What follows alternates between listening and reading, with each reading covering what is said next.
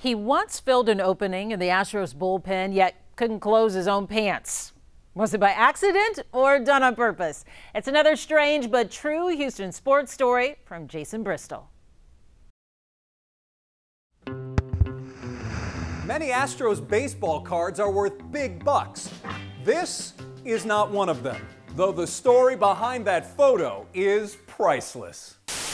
It's 1966, and inside some packages of Topps trading cards, card number 586, Claude Raymond, relief pitcher for the Houston Astros. And, whoa, wait a minute, is his fly open? What? Yep, it's undone for the entire world to see.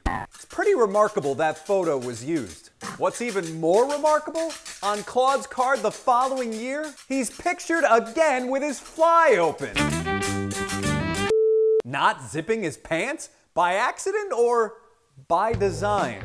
Claude, or Frenchie as he was known as a player, is now 83 years old and living in Quebec. He recently told me the truth. It was kind of a joke, you know, because the, because the photographer was a, a real friendly old man from New York. You know, some of us, you know, we, we try to make fun and stuff like that, but nothing, nothing vulgar. Yep, it was all a joke. Claude Raymond posing for pictures with his pants unzipped? It's another strange but true Houston sports story.